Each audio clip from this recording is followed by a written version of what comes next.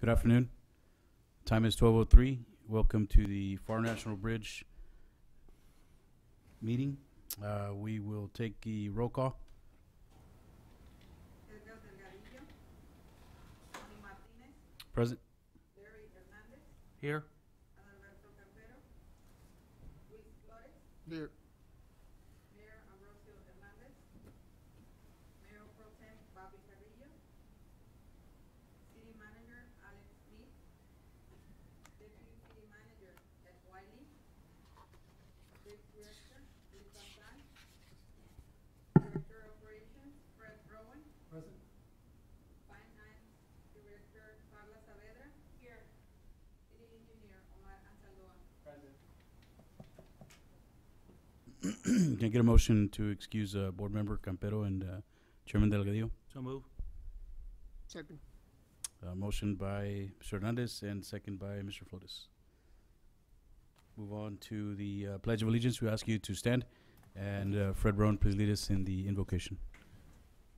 I pledge allegiance to the flag of the United States of America and to the republic for which it stands, one nation, under God, indivisible, with liberty and justice for all. Please bow your heads. Heavenly Father, in our hearts we plan our course, but we pray that you establish our steps. I pray that, that we seek you for advice. Let us not make decisions based upon what we know, but let us ask, act based upon your wisdom. Please guide us, Lord. We, we place this meeting in your hands. We place our hearts and our minds in your hands so that you may direct us. Precious Lord, this month we honor our veterans, worthy men and women who give their best when they are called upon to serve and protect their country.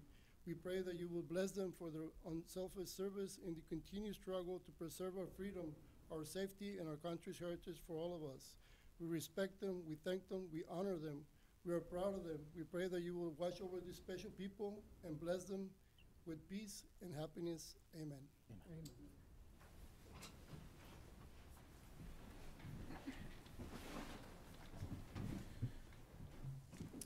We'll move on to the consent agenda. Approval of minutes for uh, previous meeting, October sixteenth, two thousand nineteen. Can we get a motion? So move. Second. Motion by Mr. Hernandez and second by Mr. Flores. All in favor? Aye. Aye. Motion passes. Consi- Second, uh, consider an action in- of uh, 2020 United Fresh membership dues uh, in the amount of 1,750. Just,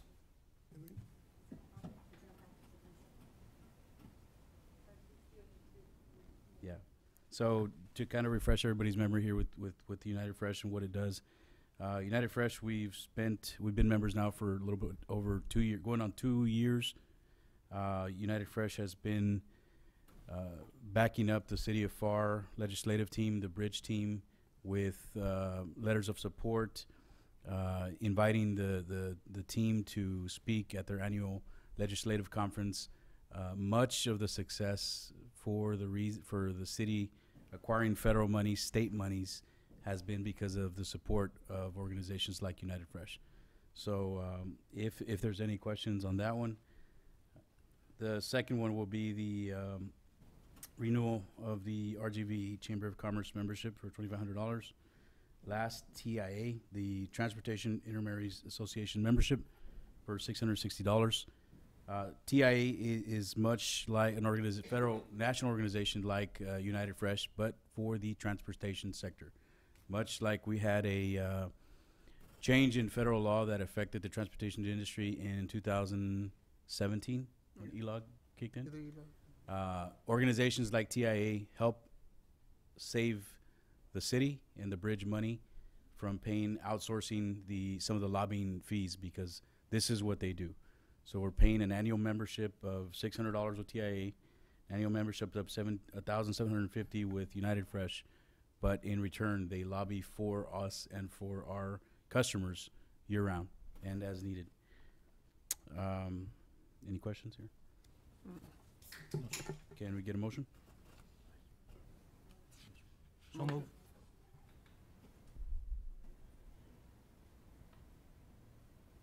Separate motion? Motion? On each? Motion? No, on, on everything. It'll be a motion for everything. Or, by y'all. Go ahead, Oh, go okay. ahead, go ahead, Luis. Move. Second. Move to item three, the director's administrative report. Council revenues. Nothing more revenues for the record, Fred Brown, Director of Operations at the Pharr Bridge. I'd like to present the crossings and revenues. Crossings and revenues for the uh, month of October. This is the first month for fiscal year 2019-2020. Uh, on page number three, we have the car crossings, car crossings. Uh, these are cars that cross from the US to Mexico through the Pharr Bridge. Uh, for the month of October, we crossed a total of forty-six thousand, six hundred ninety-four cars, which represents a decrease of eighteen thousand, seven hundred and one.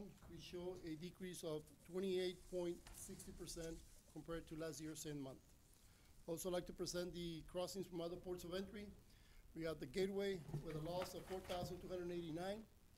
Uh, Veteran Los Tomates, a loss of seven hundred and sixty-five cars. Uh, Free Trade Los Indios, they had an increase of five hundred and ninety-three cars, two percent increase. A combination of all three bridges, a loss of four thousand four hundred and sixty-one cars, which represents a decrease of two percent. Eagle Pass, they had a loss of ten thousand nine hundred and five cars, which represents a decrease of four percent. The Laredo Bridge, they had an increase of three thousand five hundred and sixty-eight cars, which presents an increase of one percent. The McAllen Hidalgo Bridge, they have lost of eleven thousand four hundred and six cars, which represents a decrease of five percent. The Anzalduas Bridge, they had an increase of four thousand two hundred and twenty-three cars, which represents an increase of six percent. Progreso Bridge, they had a loss of six thousand five hundred and eighty-eight cars, which represents a decrease of fourteen percent. Madonna Bridge, they had an increase of fifty-eight cars, which represents an increase of zero point twelve percent.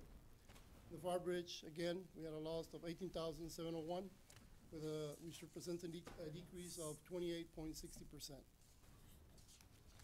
On page number four, we have the truck crossings, truck crossing for the, again, these are trucks that are traveling from the US to Mexico through the Pharr Bridge. We crossed a total of fifty-four thousand three hundred and one trucks, which represents an increase of two thousand one hundred and seventy-three trucks, which show an increase of four point seventeen percent for the month of October. Also, I'd like to, uh, also like to, uh, show the, uh, car, truck crossing from other ports of entry. Uh, for the month of October, trucks are traveling from the US to Mexico through the Veteran Los Tomates. They had a, a decrease of one hundred and sixty-seven trucks, one percent decrease. Free Trade Los Indios, they had a decrease of hundred and thirty-eight trucks, seven percent decrease, uh, combination of both bridges, a loss of three hundred and five trucks, which represents a decrease of one percent. Eagle Pass, they had an increase of three hundred and seventy-nine, three percent increase. The Laredo Bridge, they had an increase of four hundred and ninety-six trucks, zero percent increase compared to last year. The Pharr Bridge, we had an, uh, an increase of two thousand one hundred and seventy-three trucks, four percent increase. Progreso Bridge, they had an increase of two thousand five hundred and forty-six trucks, which represents an increase of sixty-one percent. And Anzalduas Bridge, again, these are crossings from three in the afternoon to ten PM.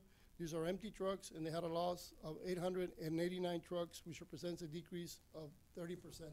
I'd like to mention that for the past, since January of twenty, uh, of twenty nineteen, this month will be eleven months, uh, the Anzalduas Bridge has been losing a lot of trucks through, uh, going southbound, going to Mexico. Uh, This is the eleventh month they, in a row, they have lost crossings compared to last year's same month. And we, we had a, our occasional dips in the, uh, in the summertime, which is normal when we lose ag trucks, exactly. what have you, but, but eleven months straight, what, yeah. What, We lost one month out of the uh, fiscal year 2018, 2019. I think we lost one month only on trucks. right, Anzaldua has been losing uh, every single month since uh, beginning of the year.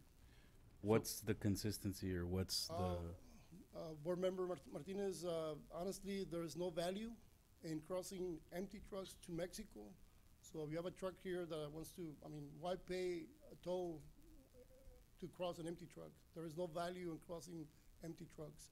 Hmm. So that's majority, the, the, the main reason as to why they're Oh, okay. losing trucks. Wow.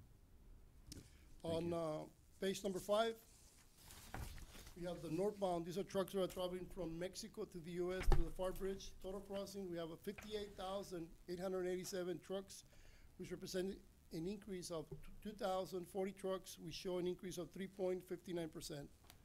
On the agriculture side, the Pharr uh, International Bridge total fourteen thousand nine hundred and five crossings for the month of October, representing twenty-five percent of all the imports that are coming from Mexico to the US. On the same note, the agriculture trucks at the Pharr International Bridge uh, import line show an increase of four hundred and seventy-eight trucks increase over the same month fiscal year 2018-2019, representing a three percent growth compared to last year, same month. On page number six, we have the revenues. Total revenue collected for the month of October, we collected a total of one million, two hundred and seventy-four thousand, six hundred and sixty-three dollars, representing an increase of fifty-six thousand, five hundred and ninety-three dollars. We show an increase of four point sixty-five percent. Overall, board members, uh, Chairman, uh, very good month, even though we lost cars again, but it's, it's a trend, uh, from Laredo all the way to, uh, Brownsville, eh, with the exceptions of a couple of bridges, but, uh, so far it was a very good month. And that concludes my report for, uh, crossings and revenues. Fred, all the tolls take effect November? The tolls, All the tolls? and the, uh, the- the Modified. increase that we had, eh, it, uh, took effect on October, October, this October. We went up on the cars on August, uh, first of August, and then, uh, only on the cars, and then on, on the trucks, only on the AVI trucks, not on the cash or, uh, or the tickets, but only on the AVIs took effect October the first. Yes, sir. Good, thank you. Mhm. Move on to uh, item B, the finance report for October two thousand nineteen. We, uh, Carla Saavedra is here in case she has any, Yeah, Carla, I know we, uh, we've been having some issues with Kronos. Uh, do you have any comments, Carla, that, uh, with Inco, I'm sorry, with Inco? Uh, do you have, uh, any comments on the, uh, total, uh, revenues that we closed for the month, for the year? We're healthy. yeah, last meeting we were in budget when we closed the fiscal year, so everything looked good. Perfect. Uh, we'll move on to uh, item C, engineers report. Omar Anzaldúa is here to help answer any questions or update us on any, anything that's changed. Good after, good afternoon, members of the board. Uh, I'm gonna give an update on a few projects. First project is the, uh, the International Bridge Administration Office, which is under construction right now. We started going vertical on the expansion addition. Looks like we're gonna start working on adding that roof section this week, and so still estimated to be completed sometime in February with the, you know, hundred percent complete, so right now we're at about sixty percent complete. The other project is the FY fifteen DAP project, which is the northbound lanes and the second BSIF exit. That one is scheduled to rebid in January of twenty twenty. We went out for bids back in June and we got one bidder and it was over budget. We, we think, you know, rebidding it after the holidays will attract more contractors, so we're anticipating of bidding that out in January. And then the other project, which is the FY sixteen, which is the dry dock, the cold inspection facility and the ag lab, those are, the design is hundred percent complete. We're still waiting on finalizing the donations acceptance agreement with GSA, as well as getting an AFA from TxDOT for the funding, which has already been allocated, you know, the, their contribution to this. So we're looking at going out for bids probably sometime in the fall of, of twenty twenty to kind of stagger these projects, since there's gonna be a lot of construction activity. We wanna, uh, stagger them uh, sequentially, so, you know, we're not interrupting too much of the bridge traffic, so. That concludes my report, if there's any questions. Perfect. Any questions? No, sir. Uh, last we move on to the uh, director's report. Yes, uh, board members, for the record, Fred Bowen, Director of Operations, we have, uh, uh, Mexico's liaison, our, our, Mr. Ezequiel Ordonez will give us an update on the quarterly report for the, the month of September and October. Mr. Ezequiel?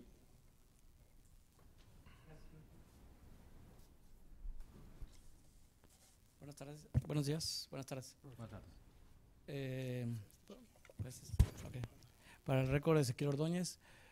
Eh, buen día, Mr. Mr. Chairman, miembros del consejo. City Manager, pues, no estaba.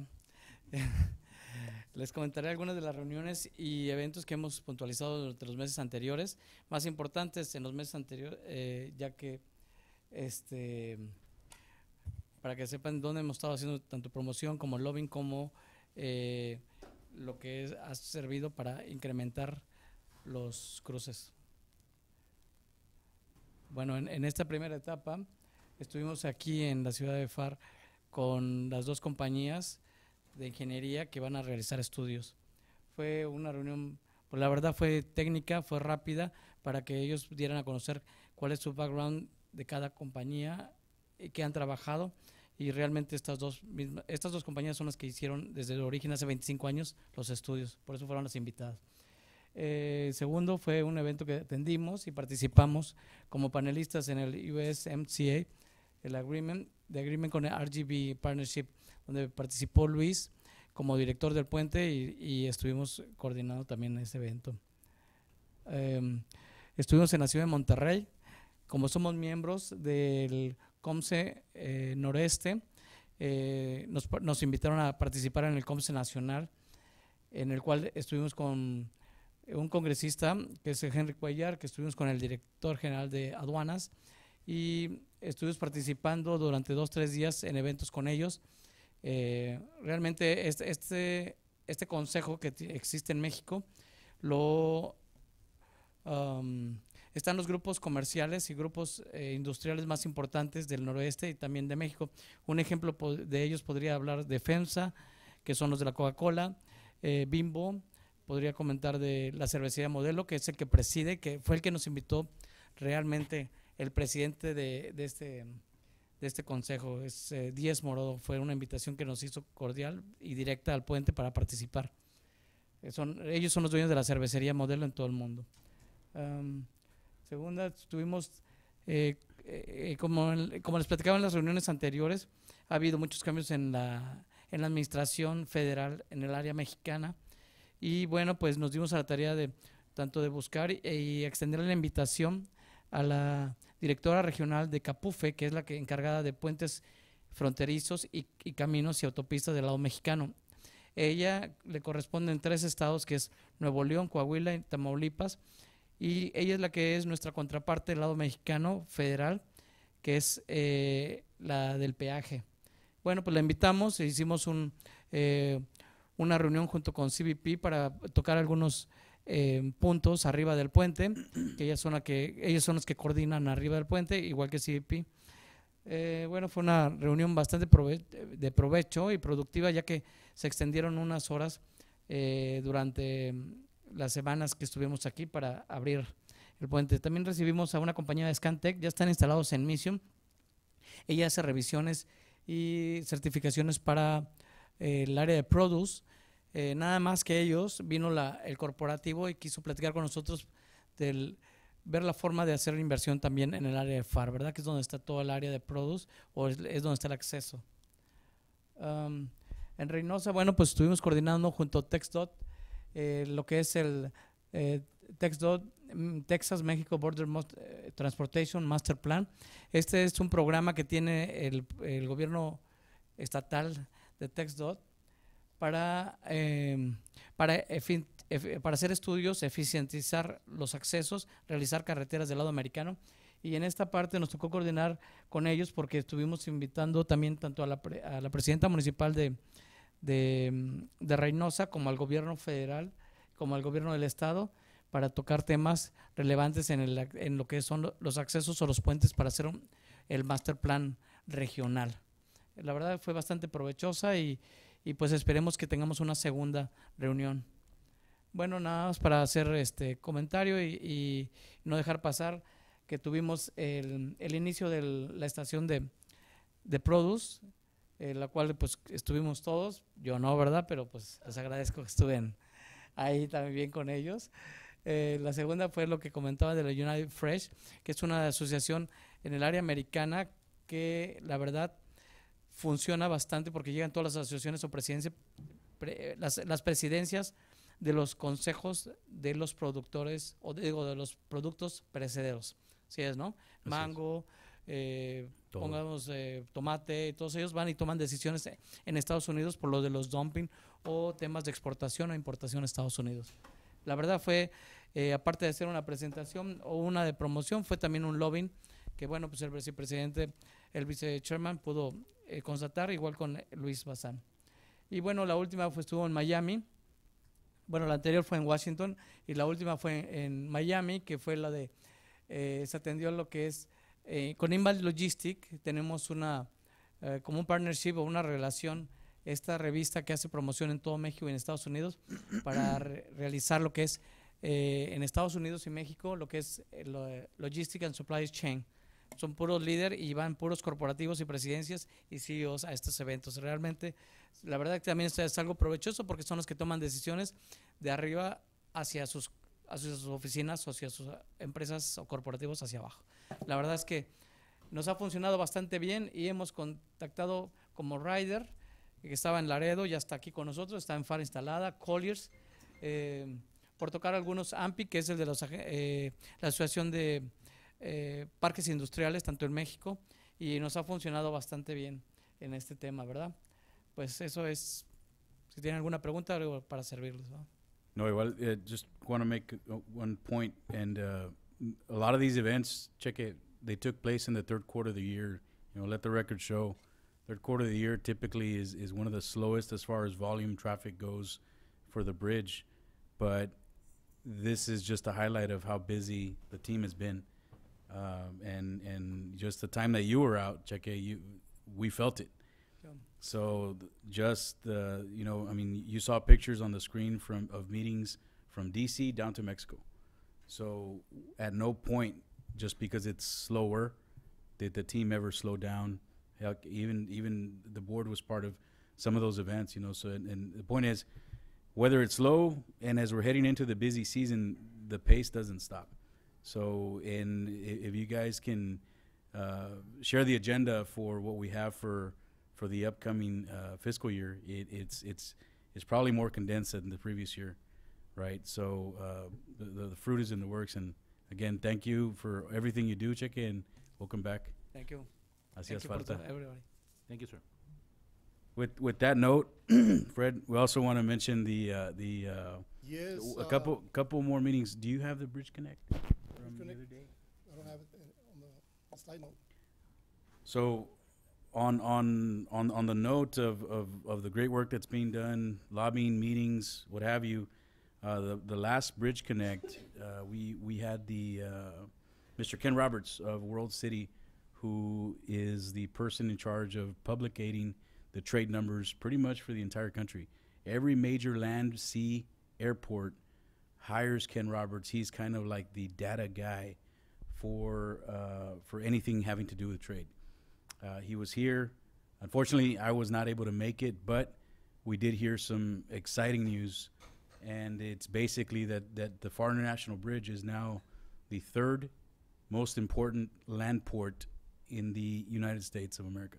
Between Mexico and the US, uh, the Pharr Bridge is number three. Used to, last year we were number four, now we're number three. Yeah. So again, more great news.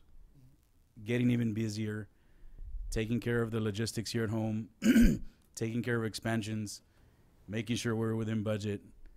A lot of things going on at the same time, but again, hats off to everybody for for the great work. And again, now the third l- most important bridge, still the number one port of entry for produce. It's just going to keep growing and growing as as the time comes by. Yes, and I'd like to uh, thank the board and the commission and the mayor for the continued support to approving us, approving us the, uh, the flight, the, the, the, the, uh, the events that we have in the US and in Mexico as well. Uh, Thank you all for the support. Thank you, the thanks f- to, to the mayor and the commission for the tremendous support that they, ha- they give us and they allow us to travel into Mexico and the US as well. Thank you. Thank you. Next, we have, uh, as you know, we have a Veterans Day Parade that it was uh, celebrated on uh, November the 9th, and uh, was, we won first prize. Yay. Job, guys. Uh, uh, I'd like to give thanks to uh, Vanessa, Cleo, our maintenance employees, Mr. E- Eric Rodriguez, and Mr. Juan Lazos, who are the, the- the Gary as well, Gary Rodriguez as well, uh, Gary, Gary Cázares, I'm Oh, sorry good. uh, who Not- will not help Rodriguez. us, uh, help us uh, uh, with the float. And these are some of the pictures that, um, that we uh, um, presented. Uh, And this is the prize that we, was awarded to. That's awesome. First place. Thank you, Cleo. Good Thank job, you, guys. Vanessa. That's great. For the tremendous help and support. That's great. Thank you guys. Good job. Thank you, Vanessa. Good job. And last but not least, uh, we on December 13, uh, we're gonna have our, um, uh, the, uh, the celebration of the 25-year anniversary, the city, the Pharr International Bridge celebrating 25 years. This uh, past week, we completed 25 years of service to the community, to the trade, and also we're celebrating the customer appreciation for, uh, on December 13, uh, this December.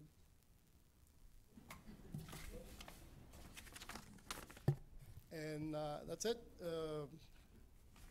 I don't have anything else to comment. And uh, Fred, so if the bridge has been open 25 years, that means your time in service has been 25 years. oh yeah.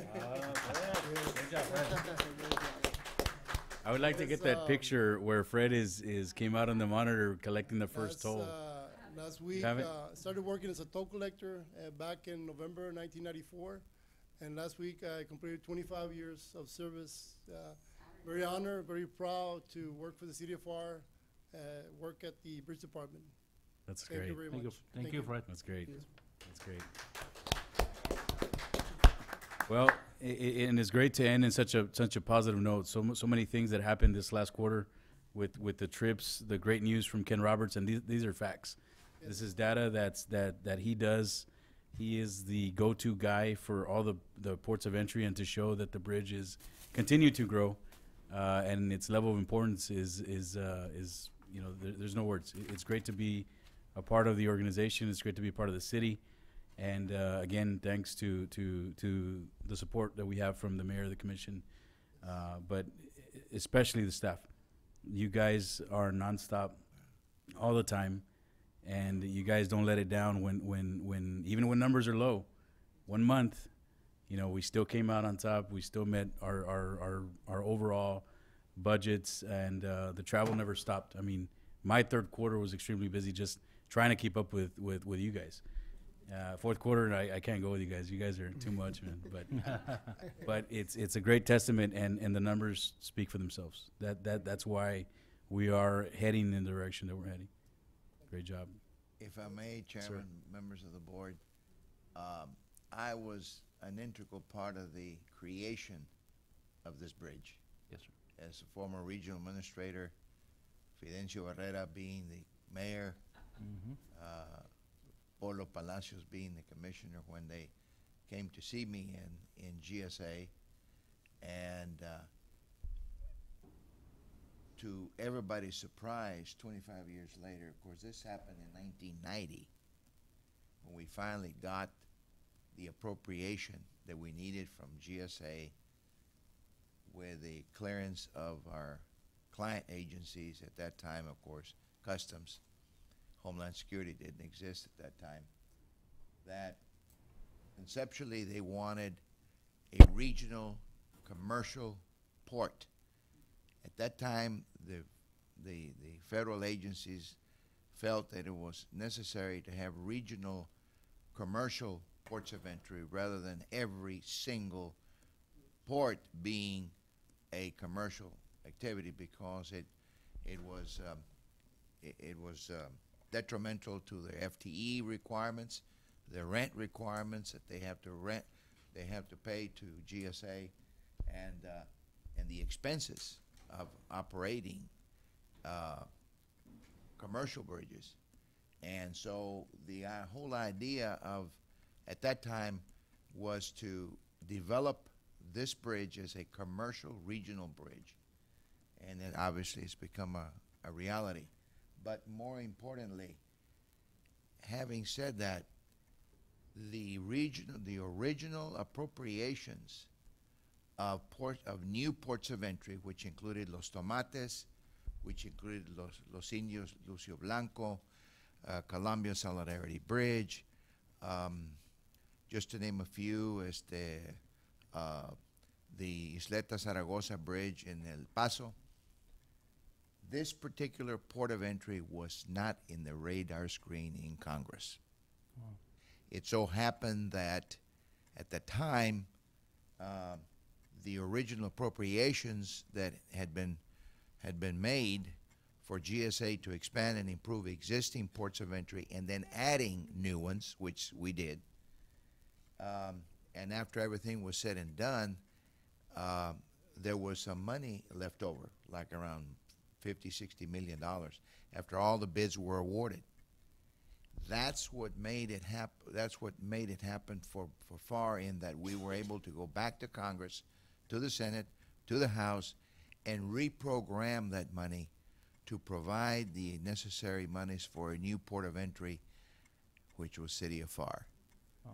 Uh, 27, 28 years ago.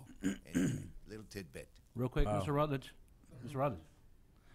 You said nineteen ninety, but it actually started before when y'all started, uh, in seventy-eight. Yeah, when in, it seven, in initially- 70, well, you had the permit. Right. Donna had the permit, Pharr had a permit. Uh, there were about two or three others that had a presidential permit during the Jimmy Carter era.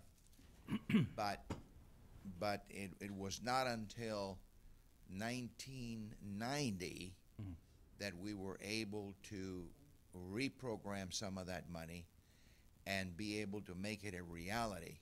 And I remember when when the city of Pharr announced it, I had I had calls from neighboring communities, not to not to mention who they were, wanting to find out uh, what Pharr was smoking. and I said, "Well, they ain't smoking anything. this is the real thing." what do you mean? And it was. I said, by that time, it was signed, sealed, and delivered. It was so. Good deal. anyway, it was um, it was a great a great his, history in the in in Pharr with that changed the configuration Sure. of Pharr forever. Yeah. yeah. Thank you, Alice, Thank- and thank you. And, and, and glad thank you for uh, everything you've done for for the city, and District. you continue to do Thank you. the city. Well, Thank I'd you. Like- Just like to add that back then, when we opened the bridge, we only crossed, uh, close to hundred trucks a day, uh, northbound and southbound. Right now, we're crossing two thousand five hundred to three thousand, almost three thousand trucks on a daily basis northbound. Southbound, another two thousand five hundred, so we come a long, long ways, Absolutely. very Good job. good That's great. for us. Uh, back then, we used to collect about twenty, thirty thousand dollars a month, fifty thousand dollars a month. Right now, we're collecting a million dollar, over a million dollars every single month.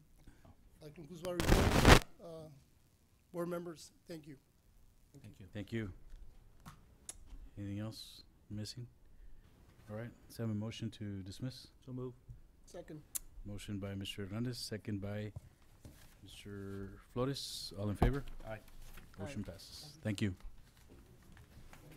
Wow. That was quick. What's up? You gonna stay, Nate? Oh, you, vamos. Fifteen minutes.